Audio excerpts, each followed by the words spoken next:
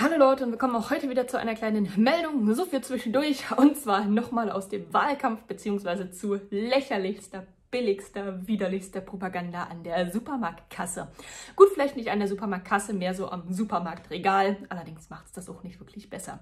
Aber worum geht's? Na, schauen wir uns mal an, was ein namhafter Supermarkt im besten Absurdistan aller Zeiten nun offensichtlich für sich entdeckt hat. Statt sich darauf zu konzentrieren, gute Ware, gute Lebensmittel zu bezahlbaren Preisen an die Bevölkerung zu verkaufen, haben sie nun offensichtlich umgesattelt und zwar auf politische Indoktrinierung. Die Rede ist von Edeka, einem doch relativ namhaften großen Händler, der dutzendfach, hundertfach, tausendfach am besten absurdestal aller Zeiten ne, mitunter in jeder kleineren und größeren Stadt vertreten ist eigentlich auch dafür bekannt ist, doch ein relativ breites Sortiment zu bieten, eine gute Auswahl zu bieten, aber eher ein bisschen hochpreisiger zu sein, aber bisher einen relativ guten Ruf hatte. Nun aber hat man offenbar, wie gesagt, erkannt, hm, wir haben ja Wahlkampf und es kann ja nicht sein, dass die Bevölkerung selber entscheidet, was sie wählt. Nein, deswegen wurde kurz vor den Landtagswahlen in Thüringen, Sachsen und Brandenburg noch schnell eine Anzeige geschalten, geschaltet, die folgendermaßen aussieht. Ich halte es euch mal ins Bild und dann reden wir da gleich drüber. Edeka schreibt, Zitat, warum bei Edeka Blau nicht zur Wahl steht bezieht sich natürlich auf die Parteifarben, denn die AfD hat ja nun als Parteifarbe Blau, ist übrigens meine Lieblingsfarbe, das nur so am Rande. Aber da soll nun suggeriert werden, Blau ist böse. Und dafür hat Edeka auch eine Beweisführung, bei der man sich weghaut. Die lese ich euch mal im O-Ton vor, denn man kann es sich nicht ausdenken gelbe Bananen, rote Tomaten, grüner Salat, violette Trauben, orange Möhren, pinke Drachenfrucht. In der Edeka Obst- und Gemüseabteilung herrscht die bunte Vielfalt. Oder etwa doch nicht? Fragezeichen. Wer genau hinsieht, sieht eine Farbe nicht. Blau. Und das ist kein Zufall, denn blaue Lebensmittel sind ein Warnhinweis der Natur, der uns sagt, Achtung, ich könnte unverträglich sein. Also an, allein in dem ersten und zweiten Absatz sind schon so viele inhaltliche Fehler, da reden wir gleich drüber, aber lesen wir erstmal den Rest. Die Evolution hat uns gelehrt, blau ist keine gute Wahl.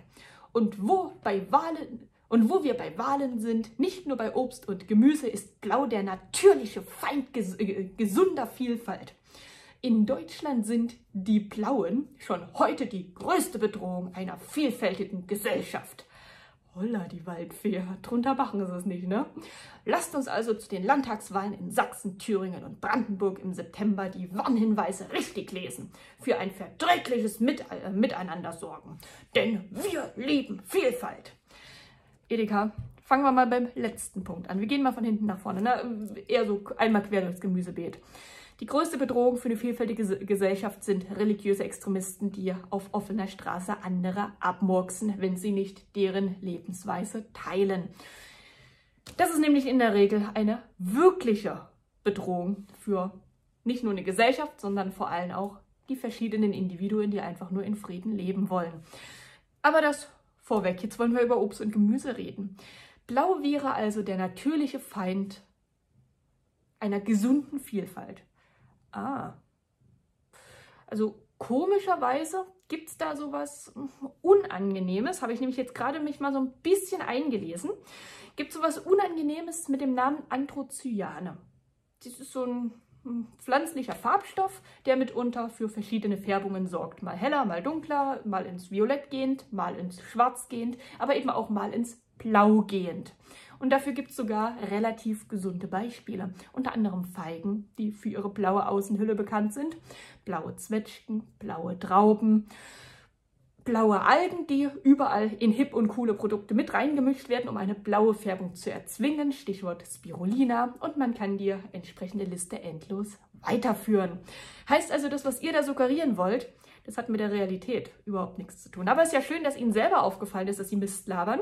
Sie sprechen in eben jener Anzeige in so einer kleinen Kachel nämlich noch davon. Übrigens, Blaubeeren oder Blaukraut haben zwar Blau im Namen, aber nicht in den Farbpigmenten, sagt die Wissenschaft. Und auf die sollte man ja bekanntlich viel öfter hören. Edeka, die Wissenschaft sagt, entsprechende habe das Wort schon wieder vergessen, Anthocyane sind für eben jener Blau- oder Violett, äh, Violettfärbung verantwortlich. Wie genau das ausgeprägt ist, naja, das kommt immer drauf an. Ja, wie soll man das, wie erklärt man das jetzt einfach? Das, äh, das kommt immer auf die Konzentration bzw. die Beschaffenheit eben jenes Obstes bzw. Gemüses an.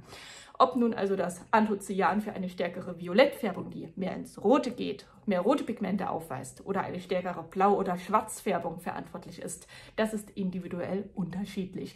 Das sagt übrigens, liebes Edeka, eure Wissenschaft. Aber ist sicher nicht zu viel verlangt, wenn man über solche fachspezifischen Sachen redet. Die muss man als Lebensmittelhändler, AK neuer politischer Propagandist natürlich nicht wissen. Das sind jetzt so störende Fakten, wenn man doch darüber sprechen will, dass Blau ganz böse ist. Der natürliche Feind. Andere Sache, liebes Edeka, wenn man sich die Anzeige anschaut, hat man so ein bisschen das Gefühl, die richtet sich an Dreijährige. So als würde Sabine beim Kinder-Yoga die zehn Monate alte Maya Luna, was weiß ich, Powalskovic, Maya Ubungu davon abhalten wollen, Malte Torben mit der Reißwaffe ins Überzuziehen. So in etwa hat man das Gefühl, ist das Klientel oder ein eben jenes Klientel richtet sich diese Anzeige in Babysprech. Anders kann man es nicht nennen. Das ist so dieses von oben nach unten belehrende, von wegen, wir haben die einzige Wahrheit gepachtet. Ihr seid ganz böse und gemein. Und weil wegen Moral und Vielfalt und eigentlich unserer Brieftasche wollen wir, dass ihr macht, was wir wollen. Glaubt ihr wirklich, dass das bei erwachsenen Leuten zieht? Also jetzt ohne Ironie und Sarkasmus. Habt ihr wirklich das Gefühl, dass Leute die in einen Supermarkt gehen, da politisch belehrt bzw. indoktriniert werden wollen? Nee. Wer in einen Supermarkt geht, der will in aller Regel einkaufen. Der will was zu futtern mitnehmen und seine Ruhe haben. Verschont werden mit irgendeiner Propaganda. Und wir haben in der Vergangenheit einige große Marken, große Firmen erlebt, die auf ihren politisch korrekten Trip vielleicht nicht den allergrößten Erfolg hatten, die anschließend dann mitunter in die Insolvenz gerutscht sind, weil die Kunden schlichtweg ausgeblieben sind. Nicht mal unbedingt wegen der generell schlechten wirtschaftlichen Entwicklung, sondern ganz, ganz gezielt, weil Kunden gesagt haben, Moment, wir wollen einfach nur Produkt so und so konsumieren.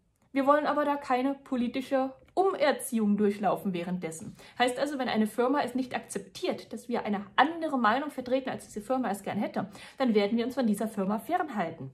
Und dafür gab es nun Dutzende Beispiele, am besten Absurdesten aller Zeiten in den letzten Jahren. Es ist nämlich immer eine relativ schlechte Idee, anderen irgendwas aufzwingen wollen. Und als Supermarkt ist es verdammt nochmal nicht eure Aufgabe, Wahlkampf zu betreiben. Aber man möchte ja hip und cool und modern und vor allem politisch korrekt sein. Und da kommt man dann mit so einem Schnullipups in die, um die Ecke. Blau als Feind der Natur. Interessant, dass Wasser für gewöhnlich seit Jahrtausenden übrigens blau dargestellt wird. Ja, Wasser selbst ist farblos, muss man nicht drüber reden. Aber durch entsprechende Algenbildung bzw. die Lichtbrechung auf der Oberfläche wirkt es in aller Regel blau. Und wofür steht blaues Wasser gemeinhin? Für gesundes Mineralwasser, für etwas Überlebensnotwendiges. Ja, ist jetzt ein bisschen blöd. Ist nämlich nicht unbedingt ein Warnsignal. Wenn man einen blau schimmernden Gebirgssee aus der Ferne sieht, dann weiß man in der Regel, oh, das ist sauberes Wasser, das kann man mit hoher Wahrscheinlichkeit trinken. Ja, wenn man sich eben jenem blau schimmernden See nähert, dann sieht auch sein nicht mehr blau aus. Das ist klar. Geht dann mal ins Farblose, mal ins Grüne, mal ins Bräunliche, je nach Wasserbeschaffenheit. Bei wirklich sauberen Seen ist es dann meistens eher so das Transparente. Aber durch eben jene Lichtbrechung schimmert Wasser öfters, nicht immer, gerne mal blau. Und das ist nun alles andere als ein Warnhinweis, ich könnte unverträglich sein. Was für ein Schnullipups. In der Regel ist es sogar so, dass, je, muss man jetzt natürlich unterscheiden zwischen verschiedenen Lebensmitteln, aber in der Natur ist es oft so, dass roten Warnhinweis ist. Nicht immer. Rote Äpfel zum Beispiel sind jetzt absolut nichts Schlechtes, Kirchen sind auch nichts Schlechtes, aber Rot äh, beispielsweise bei Pilzen ist ein ganz klares Indiz dafür, bitte nicht essen. Rot in der Tier- und, äh, in der Tier- und Pflanzenwelt steht oft dafür, Achtung, ich bin giftig. Ja, natürlich, beim Obst ist das ein bisschen anders. Rotes Obst ist nicht besser oder schlechter als gelbes, grünes oder eben blaues Obst.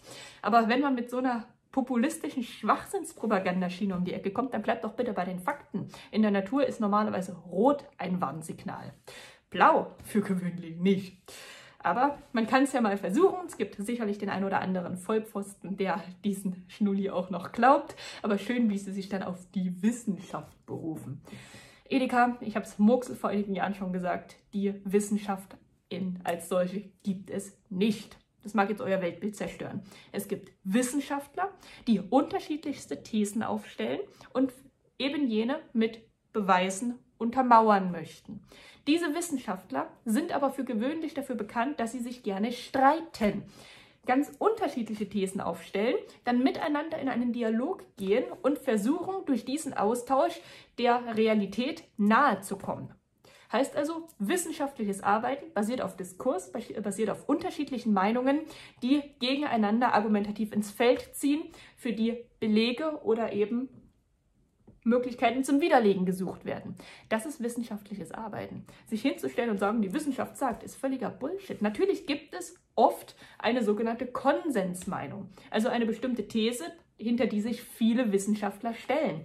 Das heißt aber nicht automatisch, dass die richtig ist. Die Wissenschaft, wenn man bei dem Thema schon mal ist, liebes Edeka, ist nämlich so ziemlich das, was sich am schnellsten wandelt auf diesem Planeten. Heute noch wissenschaftlicher Konsens, morgen wieder überholt. Heißt also, nur weil irgendeine Anzahl X an Wissenschaftlern etwas sagt, hat das absolut keine Ewigkeitsklausel. Das ist schneller revidiert und überholt, als der ein oder andere beim All-You-Can-Eat-Buffet ankommt. Aber das wird ja hierzulande auch immer gern vergessen. Da wird ja so getan, als wäre die Wissenschaft etwas in Stein gemeißeltes. Das ist so, das ist unumstößlich. So, naja, so sektenartige Richtung. In Sekten ist es ja, oder in gewissen Religionen ist es ja so, das ist unumstößlich, ist einfach so, darf auch nicht hinterfragt werden. Ja, das ist eben der Unterschied zum wissenschaftlichen Arbeiten. Das wird hinterfragt, das muss hinterfragt werden, da müssen neue Erkenntnisse einspielen. Und da kommt dann eben mitunter auch sowas bei raus, wie wir allesamt live erleben konnten in den letzten Jahren, dass ein angeblicher wissenschaftlicher Konsens, den es nie gegeben hat beim Zombie-Irrsinn, das war ja mehr so, man hat nur eine Seite gehört, die andere Seite war die ganze Zeit präsent, aber die ist einfach ignoriert bzw. zensiert worden. Aber dass ein angeblicher wissenschaftlicher Konsens wahnsinnig schnell, binnen weniger Tage, komplett kippen kann. Das, was uns über Jahre hinweg als die Wissenschaft verkauft wurde, ist an ihr selbst schlichtweg gescheitert mit Veröffentlichung eben jener RKI-Protokolle. Wo drin stand, die wussten von Anfang an, dass es nicht stimmt, was da öffentlich erzählt wird. Das war auch nie wissenschaftlicher Konsens. Das war eine politische Marschrichtung, der alle nachgelaufen sind. Aber jetzt wollen wir nicht über Zombie-Irrsinn reden, jetzt wollen wir zurück zum aktuellen äh, Vorfall kommen. Edeka meint nun also, euch alle umerziehen zu müssen in bester Babysprache ihr sollt doch bitte nicht blau wählen, weil wegen Vielfalt. Und dann hat sich auch schon der Handelsverband zu Wort gemeldet im Hinblick auf die Wahlen und hat appelliert, dass eine böse AfD ja wirtschaftsfeindlich wäre, weil sie ja gegen Vielfalt sind und sind ja über 100.000 Posten unbesetzt im Handel. Und wo sollen denn die Leute herkommen, wenn die AfD ja keine Zuwanderung will? Lieber Handelsverband, ist es euer Ernst? Seit 2015 sind wie viele Millionen Leute ins Land gekommen? Warum sind denn eure Posten immer noch offen? Offensichtlich lassen sich die Probleme ja eben nicht durch unkontrollierte Zuwanderung lösen. Der Fachkräftemangel müsste doppelt und dreifach behoben sein, wo wir doch so viele Goldstücke bekommen haben. Hm, wie war das wertvoller als Gold? Werden unsere Rente zahlen. Na, bis es, bisher ist es leider oft so, dass überproportional viele eher von den schon länger hier Lebenden alimentiert werden. Und meint ihr wirklich, lieber Handelsverband, dass in den nächsten zehn Jahren alles anders wird, wenn man einfach die Kiste genauso weiterlaufen lässt wie in den vergangenen zehn Jahren? Das löst dann den Fachkräftemangel. Ihr habt genügend Fachkräfte bekommen. Nutzt sie doch. Aber Problem ist, das funktioniert nicht so gut. Warum nicht? Vielleicht, weil es nicht die Fachkräfte sind, für die sie öffentlich an, äh, verkauft wurden. Ja, dumm gelaufen, ne? Aber kommen wir erstmal zum Ende. Ihr lest, äh, ihr habt nun mitbekommen, bei Edeka geht es jetzt um politische Propaganda bzw. Indoktrinierung. Äh, wenn Sie damit fertig sind, haben Sie vielleicht nach den Wahlen, nach den Landtagswahlen auch wieder Zeit, um sich mit Obst und Gemüse zu beschäftigen. Und dann fällt Ihnen eventuell auf, dass es durchaus blaues Obst und Gemüse gibt, nämlich sogenannte Anthocyane, die eben jene Färbung hervorrufen.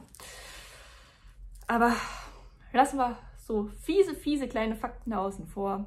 Propaganda verkauft sich nicht so gut, wenn man sie kritisch hinterfragt und nehmen wir einfach so hin, dass es beim Edeka angeblich kein Blau gibt. Ich werde jetzt übrigens gleich beim Edeka vorbeifahren. Ich habe einfach nicht ganz so viel Auswahl hier im besten Brandenburgistan aller Zeiten und werde mir einen Smoothie kaufen mit blauer Spirulina. In aus der Obst- und Gemüseabteilung.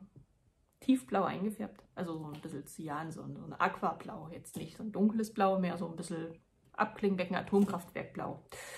Aber natürlicher Farbstoff. Ja, ganz so gesund ist nicht, aber das liegt jetzt nicht unbedingt an den Obstsorten oder Blaualgen, die involviert sind, mehr so am Zucker, der reingeknallt wird, aber trotzdem schmeckt es ziemlich gut. ja, denken wir uns unseren Teil. Wenn jetzt schon der Supermarkt uns vorschreiben möchte, was wir zu wählen haben, dann weiß ich, was ich zu wählen habe und nicht das, was der Supermarkt gerne hätte. Bis später dann.